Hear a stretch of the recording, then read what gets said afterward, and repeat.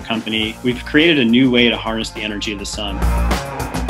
We lost access to our lab early March when the university shut down. We have a warehouse, a metal shop, and parking lot, but our lab was pretty critical. We're day 500,000 of quarantine. It's a very sad morning. We have a broken solar tracker snapped into a million pieces.